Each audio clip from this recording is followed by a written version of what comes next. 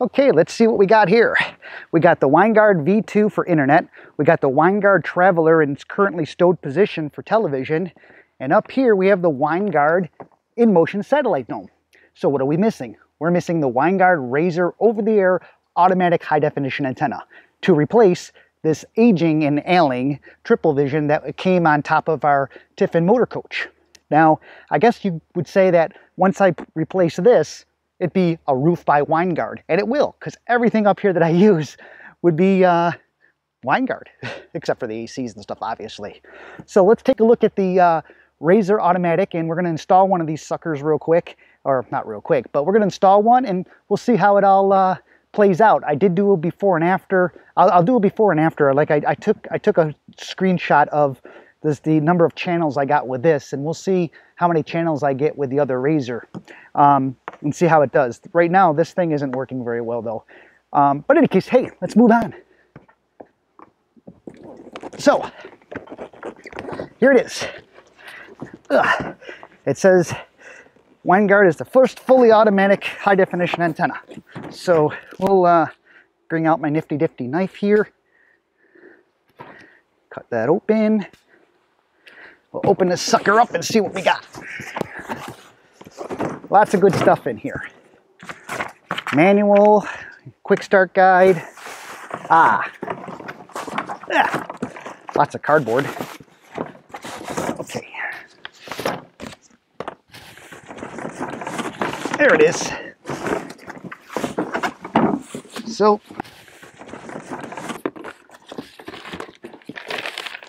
um, cover plate for if you're installing one fresh, this would go uh, on your roof. Uh, the cable would run down and you would Dicor over the top of this. There's my mounting screws. This, uh,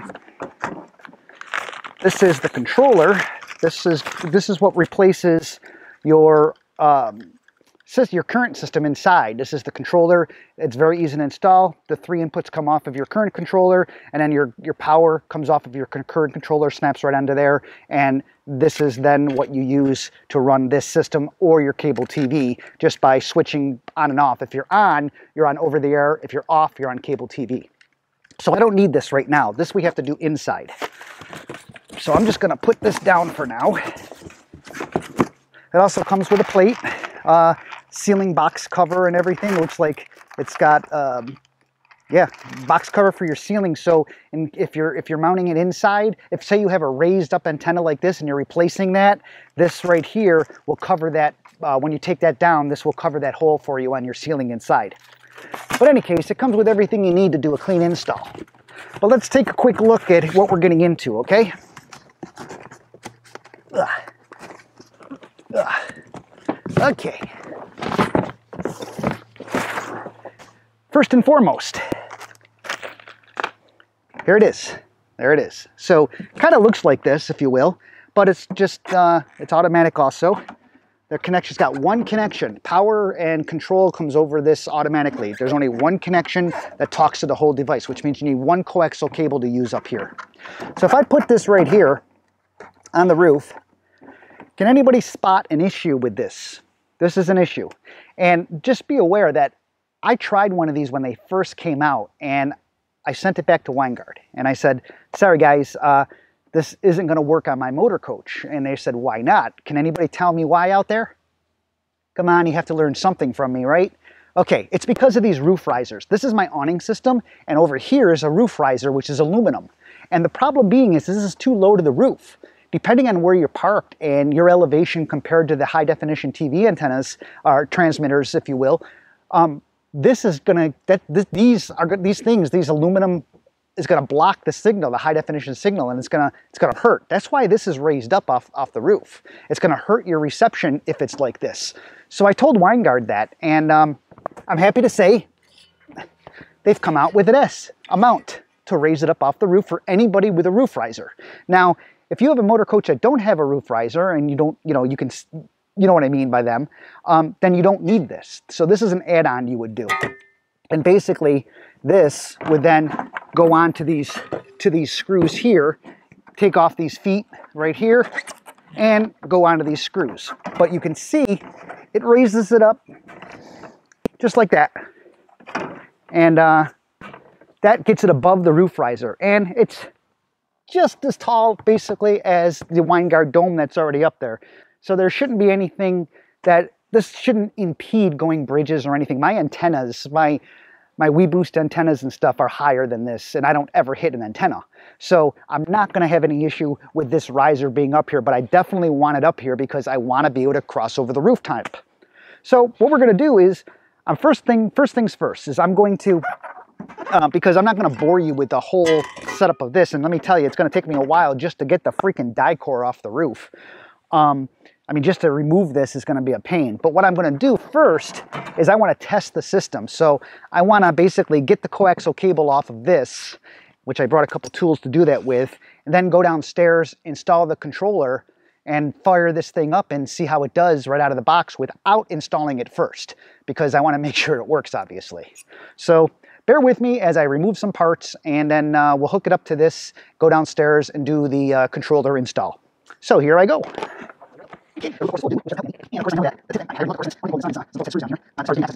There's also a power cable running up here, um, which won't be needed, obviously. But hey, if that's 12 volts, at least you got another cable coming up here that provides 12 volts that you might be able to use for something else, like a Rayzar, excuse me, a Winegard V2 Connect. If that's 12 volts running up here, now you got power for the V2 Connect right up here. If you have a Tiffin coach, that is.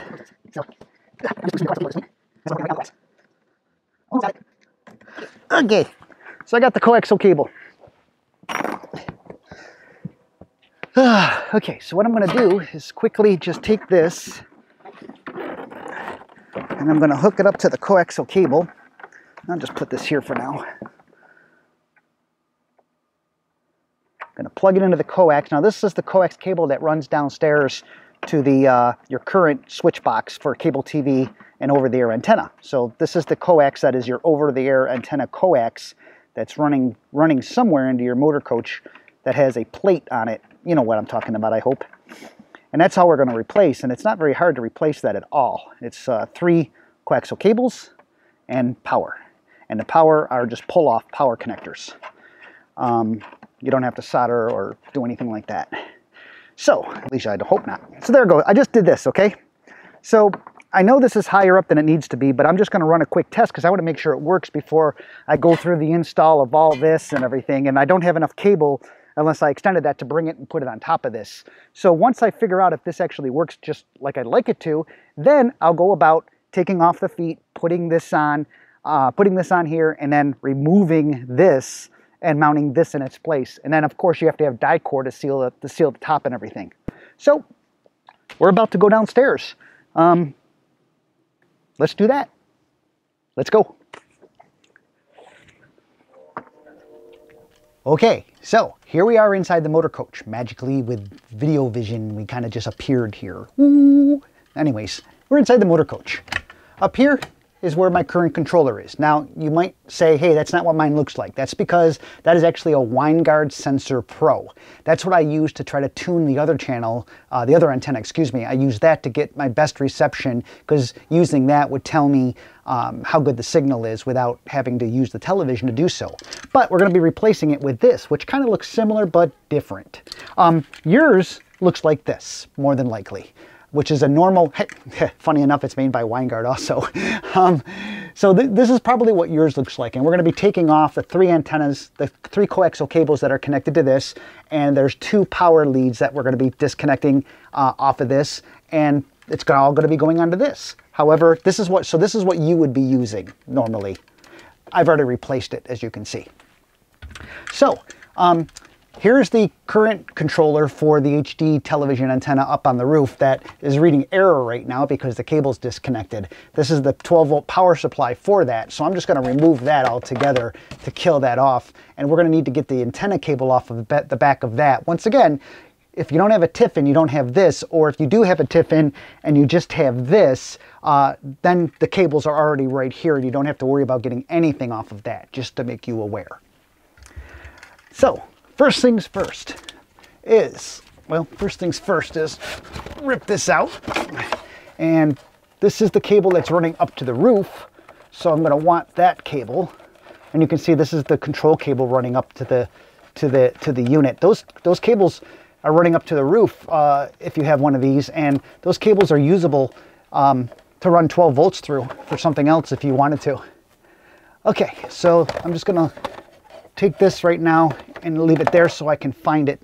Just kind of put this aside. Don't worry about the mess in here. It all gets put back together. And we're gonna remove this. If I go the right direction with the gun, that is. Okay.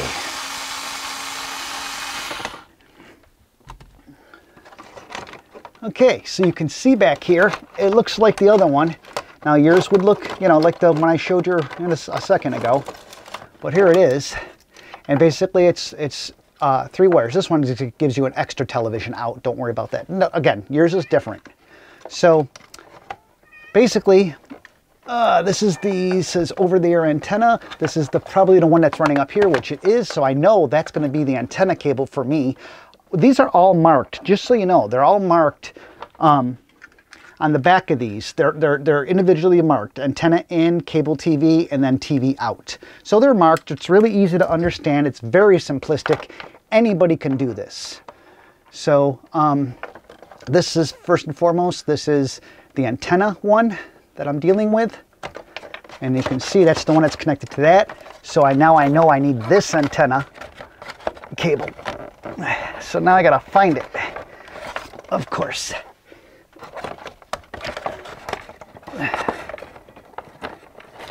And of course I lost it.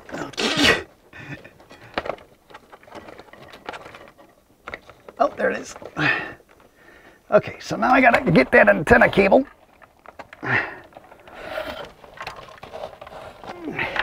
Come here, come here. Okay, there it is. That's the one I need. And I'm doing these one at a time just so I don't mess up what's going where. And so I know that's the antenna. So this is the antenna in right here. So it doesn't matter if I'm doing this one at a time. There's no power to it or anything right now to hurt anything. So I'm just going to put this on.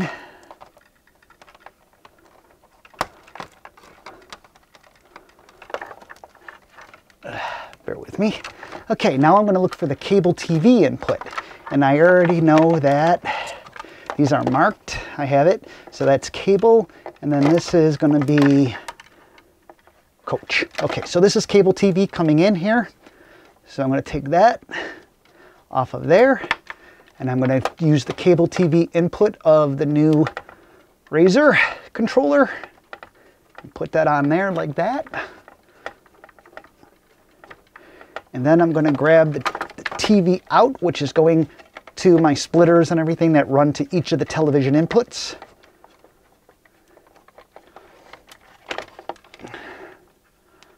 And I'm going to put that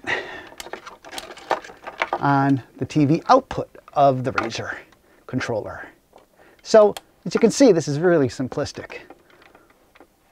Do, do, do, do, do, do, do, do, do. Okay, now we need 12 volts. So this is power and this is ground. So take my ground off of there, just pull it off, pop it on there. Take my power, pop it off there, and pop it on here. Okay, there, we're hooked up. Now it looks like it's powered off right now, which means it's not going to do anything. Now, just so you're aware, what happens the, per the manual, what it says is when I turn this on, it takes about two minutes. It runs a full search in 360 degree. It moves the antenna around and it takes readings at each location, um, trying to find the, the, I'm gonna go ahead and start that. Um, as you can see, it's running a, it's gonna run a search right now. Let me turn that light down a little bit so you might be able to see it. And it's gonna, it's gonna see how many stations it can find at each separate location, like I was saying. And when it does, it's gonna move on. It's gonna take about two minutes, and then it's gonna point the antenna toward the direction of the most television channels it can receive. So the, the, the direction has the most receivable antenna uh, television channels, it's going to go to there first. And then it's going to be able to show you on here the other ones um, you can move it around forward or backwards here and see it, it'll, when it's done, it'll light up which one, which directions, this is the directions, and which direction has, and tell you how many channels it has and what have you. So this is working, so that's kind of cool. So we got power, it's talking to the Rayzar antenna, it's scanning for channels right now, and then, and then when it's done, I'll be able to see how well it did and see how many channels it'll bring in on our television compared to the old antenna. So there it is. That's really all there is to it, except for mounting it to the roof, which is going to be a real, well, not fun for me. Dicor is really hard to get off the roof. Okay, so now let's check the television. When this is done, I'll come back and we'll see where we are. Okay, so I got everything installed and ready to go. And as you can see, I'm all nicely fully mounted here. I just put that back up there because, well, there's a hole there, so might as well keep that controller there. Um, and you can see now when I turned it on and, and I told it to scan, it says right here, it says these are the three different pointing locations of the antenna that find the most number of I said channels earlier. I don't mean channels frequencies, the most number of frequencies, because the frequencies themselves can carry three to four times the number of channels uh, on each frequencies. And it's telling me right now that the direction that it's getting the most is right there. Now, when I when I read my checks, my my my my scan with the other antenna, I only found 34 channels. And now when I run a scan, I find 41 channels. So I am getting better reception out of the Rayzar, which is great. That's exactly what you want to do. Now, if I want to point it, right now I know I'm getting Rochester, New York, and that's that way, which doesn't mean anything to you. Buffalo's that way. So basically, if I wanted to try to see what are on these different channels, these are this is where it found the next two sets of the most number of frequencies. All I would do is I would hit search and it would move the antenna to the next most powerful frequency wise or most most number of frequencies um, it has. So you can see it moved over to here, which is now down to eight, as you can see. And if I hit it again, it'll move to the next one and so on. And you can scan if you want to see if you get more channels at that point. But it already told you, hey, this direction, I found the most number of frequencies, thus it should be the most number of channels. Well, I hope this makes sense. Um, now that I know everything is working properly, I can install this up on the roof and get rid of the other one. So that should be fun. If you guys want to see that, please feel free to stick around and uh, I'll probably time lapse it right after I say goodbye. But if you don't want to watch that, then you can stop the video right here. Okay, so any case, if you're stopping the video now, thanks for watching. Please click subscribe if you're not a subscriber and we appreciate you. If you want to continue on, then here we go as I install it up on the roof. This should be fun. Okay, so we're up on the roof now. Ugh and I should have everything I need to get this job done um, up here. And uh, I got my Dicor and all my little things and everything.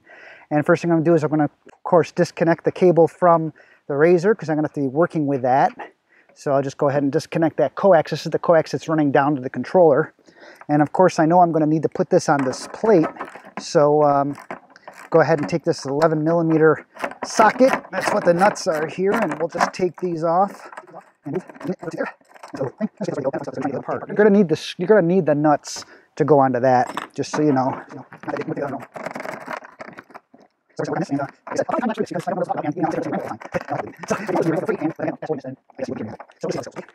So got that. Now we're gonna take this.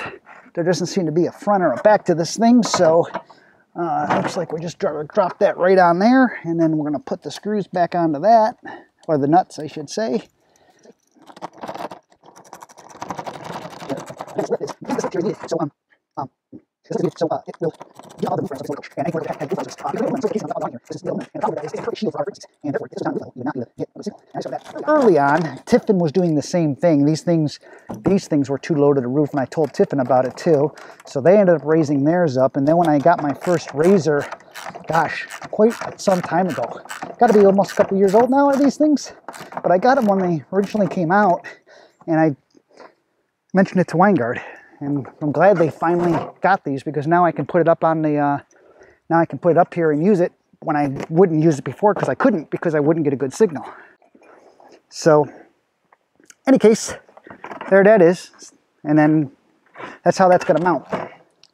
So now I got to work on getting this off the roof, which is not something, uh, which is not something that it's going to be easy to do. So some essential tools for that is you want some really good uh, putty knives or knives to cutter cutter knives to get this Dicor off the roof because this stuff is really, really hard. And that's probably what I'm going to fast forward through mostly. So when you're working on the roof, of course, A, be careful, but B, you need some really good knives to get the Dicor off because it really sticks. Make matters worse, I don't know what they have underneath this to hold these brackets on. So I'm going to have to start taking this apart. So I might as well do that. Um, and uh, get this off here. And then I just put that So, so I have to work through this thing here every morning.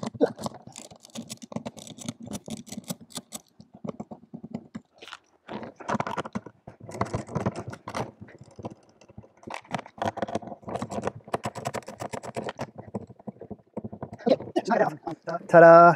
And there's the control wire that's on the bottom of this thing. There's three wires coming through it. Um, a ground and whatever. So I got to get that apart now. Uh, did I bring up a... Yeah, I got one for that. Now remember, we disconnected the power from this, so I'm not worried about this at all right now. And what I also brought up on the roof with me is um, some some connectors so I can in case I ever want to use this wire, I want to protect it, and I also don't want anything to happen to it up on the roof. So um, what I did is I brought up with me my wire cutters, first of all, and I'm just going to cut this thing back down just so the ends don't have anything that will touch. And what I'll do is I'll seal this cord up here too, so I'll have it. Um, but what I'm going to do to protect that even further is I'm going to take a butt connector and I'm going to just pinch these wires off inside of a butt connector just to protect them. And then I'm gonna, I'll pretty, I'll leave the wire exposed so I know where the wire is, but then I'll Dicor over it. Does that make sense? Hope so.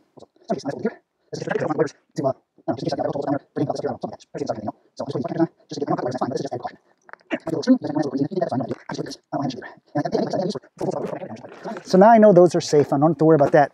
Now when I'm cutting, when I'm getting these off, Actually, I could probably, let's see if this will go over this. Oh, actually, it might. Yes. Oh, good. What I'm going to do is I'm not, yay, we're going to save a lot of time here. I'm not going to worry about removing these brackets. I know they're properly sealed and everything, so I don't have to worry about that. I know the wires are, everything's done. If I was taking this off, though, I would use these and start scraping, you know, popping all this Dicor off, finding where they're where they're screwed down, unscrewing them, and then putting putting this in its place, putting screws in and, and whatever.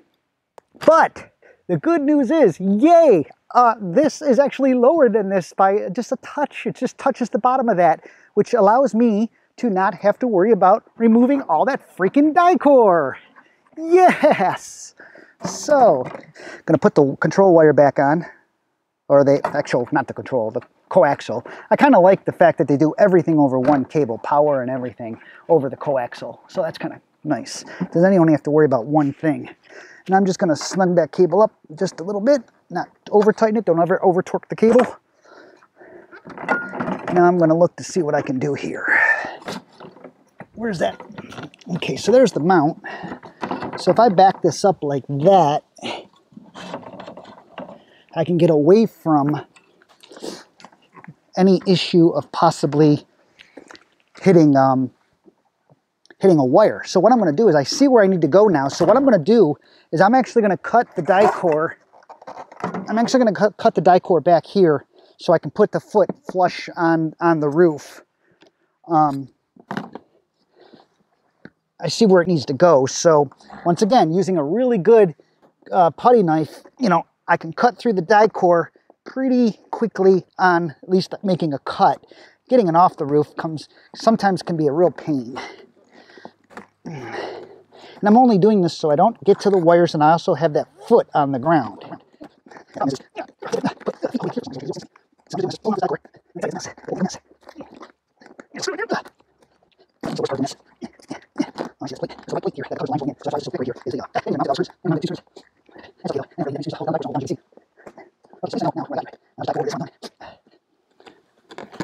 Okay, let's see what that looks like now. Hmm.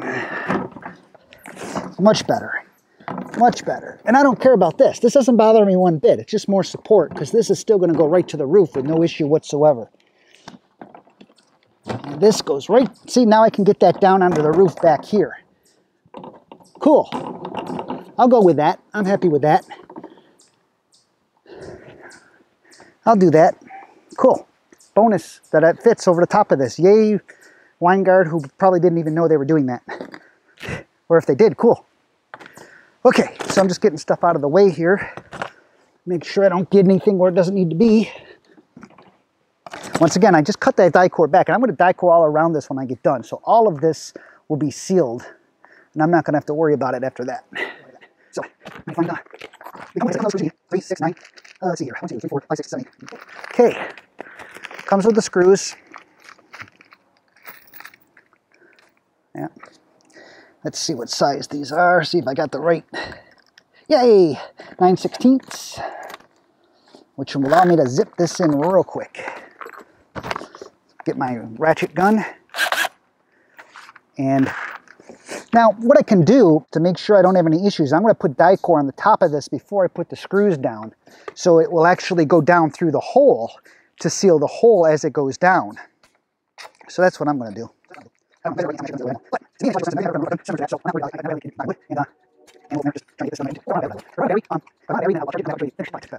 Okay, so what I'm going to do is I'm just going to put some Dicor over each one of these holes so that when I screw this down, it, the Dicor will go onto the screw into the fiberglass. I'm also going to hope, because you never 100% sure how they wired things, I'm going to assume I'm not going to hit anything. I know, that sounds bad. I know. Sounds really bad, actually. But it's true. I don't have a clue. So I don't get Dicor there. I'm going to put it over the top of this. So if it drips, it's just going to drip on something that's already die cord. So here we go. Into the roof we go.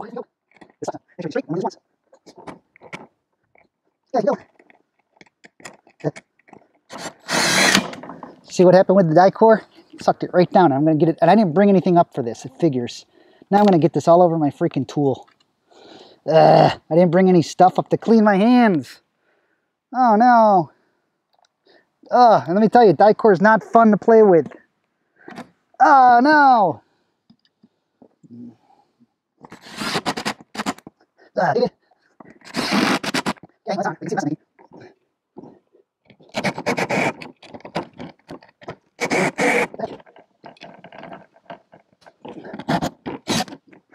Oh god, I got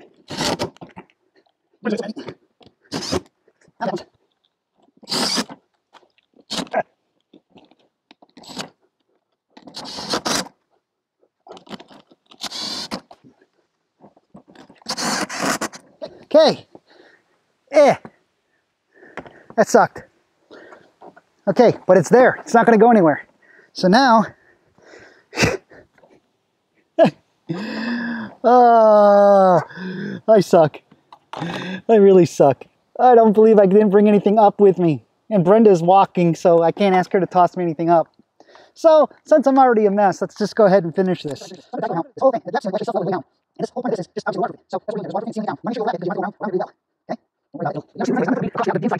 This whole thing, the depths of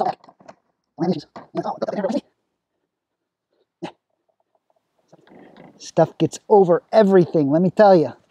Make sure you you around, around really well. Okay? Don't worry about it. It'll,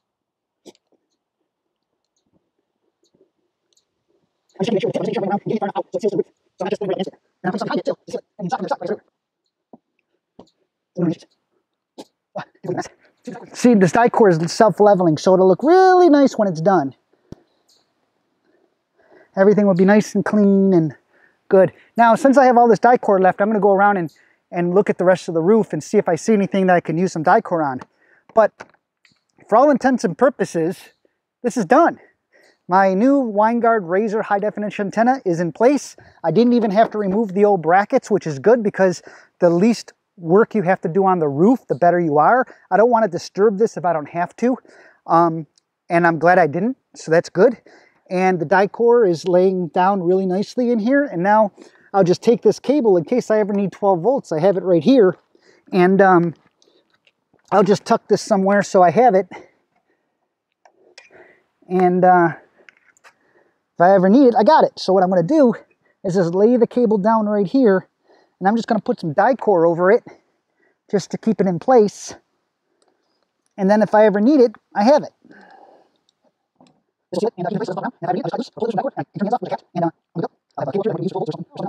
Whenever you have a cable run up on the roof that you can possibly use, it's a good thing. So, there it is, the Winegard Rayzar installed, complete with goop on hands. So, I need to now get all this stuff off the roof and clean up. I hope you enjoyed this. Um, thank you to Winegard for now I have a Winegard roof. From my sat dome to my high definition antenna to my, my Dish Network Traveler to the uh, Winegard Connect V2. roof by Winegard. I just made that up by the way. Uh, trademark. Ah. Okay. Anyways, I'm Dave Bott from Outside Our Bubble, and if you like what we do, please click subscribe. If you don't, don't click subscribe. And if you really like what we do and you're already subscribed, please click thumbs up. It helps us in the ratings. We appreciate each and every one of you, and uh, we hope to see you on the road. Take care, keep safe, bye! Gotta get the stuff off my hands. Ugh. Hey, paint thinner works great to get Dicor off, by the way. See ya!